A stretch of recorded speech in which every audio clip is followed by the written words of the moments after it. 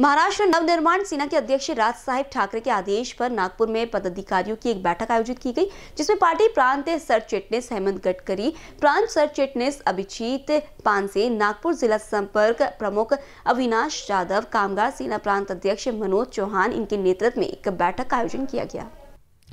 और सामने कलमेश्वर तालुका की ओर से उनका भगवी शॉल नगरीय फूलों का गुलदस्ता देकर सभी मान्यवरों का स्वागत किया गया। बैठक में तालुका के सभी कार्यकर्ताओं से बातचीत की गई। तालुका में काम करने में किस बात की परेशानी का सामना करना पड़ता है और किस बात की समस्याओं का सामना करना पड़ता है, इन सभी बात का जायजा लिया गया और आने वाले कुछ महीनों में पूरे नागपुर ग्रामीण का दौरा किया जाएगा और गांव-गांव जाकर नई शाखाएँ खोली जाएँगी और सभी शाखा अध्यक्ष से मिलकर चर्चा की जाएगी, ऐसा विचार मान्यवरों द्वारा व्यक्त किए गए। और ग्रामीण भागों में जो युवा वर्ग बेरोजगार है, उनके लिए ग्रामीण भागों की एमआईडीसी में 80 प्रतिशत स्थानिक बेरोजगार युवाओं को रोज़गार दिया जाए, इसलिए कंपनियों से बातचीत की जाएगी, जिससे ग्रामीण युवाओं को रोज़गार मिलेगा ऐसा बैठक में निर्णय लिया गया। इसके बाद सावली तालुका के मुख्य पदाधिकारियों में जिला उपाध्यक्ष जयंत चौहान, तालुका अध्यक्ष सुभाष निकोस, तालुका अध्यक्ष स्वप्निल चौधरी, तालुका कलमेश्वर, तालुका उपाध्यक्ष श्री निधि